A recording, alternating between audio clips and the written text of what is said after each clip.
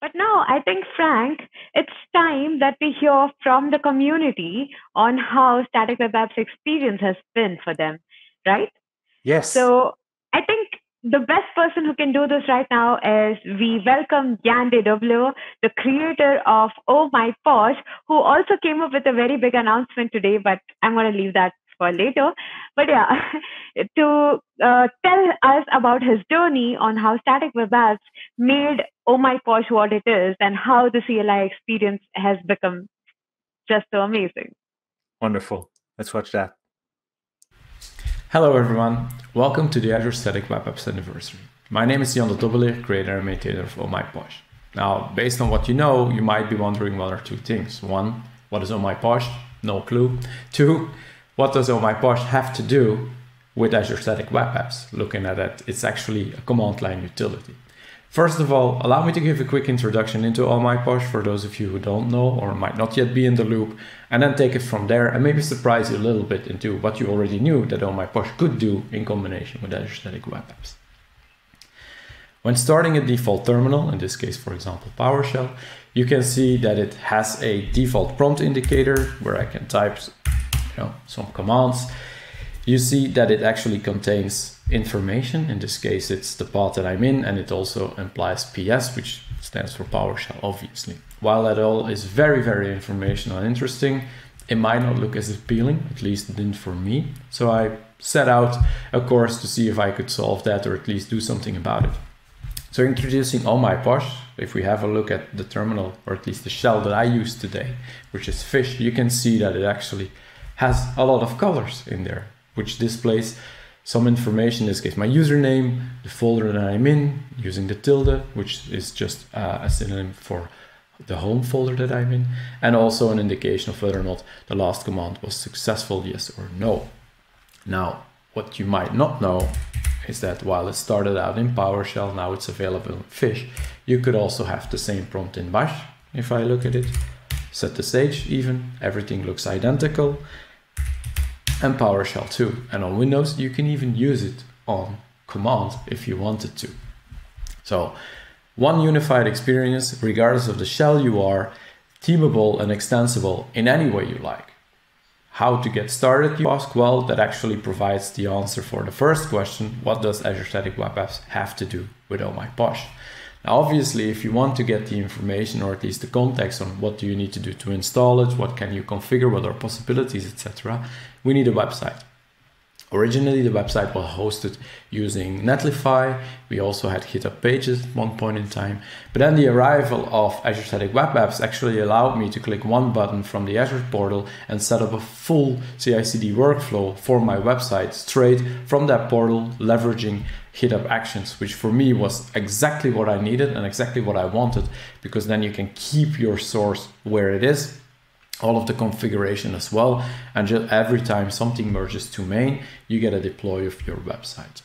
We also have the enterprise grade feature enabled for the website, which means that it's highly available across the globe. I think there are about 118 edge nodes available. So that means wherever you are, doesn't really matter. The website should always be blazing fast. I have some metrics behind that and I can assure you, A, it's really highly available, never goes down. So that's a very reliable service, which is what I need because otherwise people might not get the information that they want. And as a maintainer, obviously that always puts a lot of pressure on me in case they don't because for sure they know how to find me.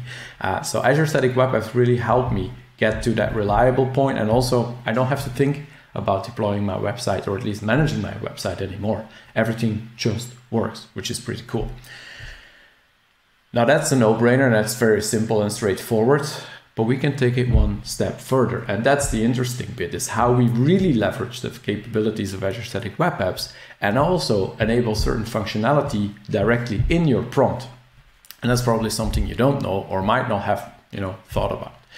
So let me show you one part that someone contributed to Oh My Posh, which started an interesting discussion. And it was the Strava segment. Now, we're not all developers, right? And if you look at it from the philosophy of Azure Static Web Apps and maybe Azure in general, accessibility is key. You want to be able to have anyone just configure something without having to need to know the nitty gritty details behind it. Now, we could have, and that was the first implementation, put all of the effort in the hands of the user by allowing him or her to create uh, an API client in Strava, or whatnot. But that's rather cumbersome. And if you have no experience in that area or it's just something that you don't care about, why would we put that burden on you? So look, can we abstract that away and maybe create an API wrapper around it? So where we can offer the same functionality just with the click of one button. What we did to achieve this is actually leverage uh, Azure Static Web Apps functions integration. So you have the ability to just next to your website also implement a full blown API. And in this case, it's actually just like routing some data from one end to the other and making it available to the user in a format that he or she understands. So let me click that button and show you what exactly happens when I push it. So I press the Strava button, you get redirected to Strava and there is one on my Posh client where you can say, okay, I authorize this. It's read only because we only care about reading information. So there's no data that we can manipulate. So let me authorize it. This actually gets now routed via the function that lives in our uh, Azure Static Web App. And you get uh, an access token, refresh token, and some other properties straight there uh, with an explanation on how to add it. So let me go back to the Strava segment itself. You can see that it has a sample configuration here embedded. So this is one of the segments. I'll just copy this first, go back to my terminal. Let me go back to fish because I'm most comfortable there, still in bash, there we go. Uh, I can actually leverage an environment variable to edit the configuration of all my Posh that I have, which in this case is Posh team. So let me quickly open that in Visual Studio Code. There we go. So this all opened very well. Let me see where I will put this in between. So if you look at my prompt now, we have a path indication, which is the orange bit. You have the green arrow in there, which is actually the Git segment that is collapsed. That's a new feature that we have when it's not enabled, but you can still see that it's actually there if the context would be uh, present. So let's maybe add it in between the path segment and the Git segment. Let's go. So we have path here and underneath is the Git segment. Let me quickly paste that snippet there. There we go also fix something here because I noticed that it wasn't right. Let's go back to the website. Look at the properties that we have here. Copy paste these. Whoop, there we go. Back to codes. Replace these dummy values with the ones that we need. Oh, that wasn't copied to right. That's on me. Let me do that again copy the right value this time. There we go. Back to code. And a trailing comma. All right. These are read only, so you can read them. Doesn't really matter much. You can't really abuse my tokens if you wanted to. So now we have the Strava segment added to the configuration. Let's go back to the terminal and see if that worked. So maybe just for the sake of clarity, let me clear my cache so that I don't have anything lingering. Oh, and you can already see it immediately populated the Strava segment right away. So you can see that I actually went for a swim one day ago, which implies that uh, in this case, the color says it's still green. It doesn't, I don't need to get up because that was the intention of the Strava segment is based on, in this case, the logic is fully configurable. If we go back to code, you can see this based on how long ago your last activity was, your prompt can show you that it's maybe time to you know get up and do some activities, which is is really cool uh, feature because we're all really tied to our desk. Sometimes even I am.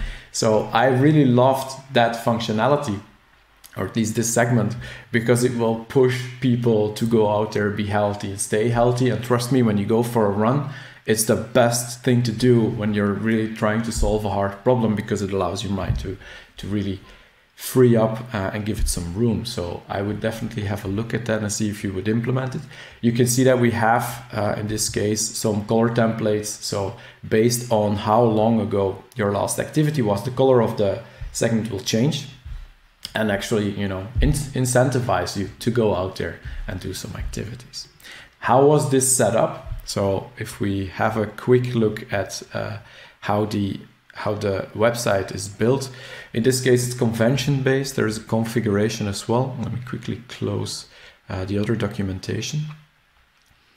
You can have an API part. So let me close the docs, which is here. So you can see we have two or three uh, two functions in total. One is authentication to authenticate you. The other one is refresh because we actually want to also use the refresh token to make sure you stay. Uh, it stays accessible. What we did is, and that's something you know, obviously that will happen if we always fetch that information live. It's not going to be the most ideal situation. So we cache it for a certain amount of time, and then once the cache value is gone, we refetch it. So only at a certain interval, your prompt will potentially be a bit slower because we have to do an HTTP request, but we don't always do it.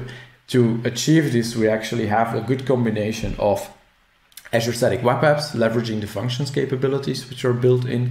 They all get deployed automatically, so we can easily tweak, uh, which is pretty amazing to see and do. I hope you enjoyed that little introduction into how Azure Static Web Apps can also power your command line. That was it for me. I wish you a wonderful day and enjoy the rest of the sessions.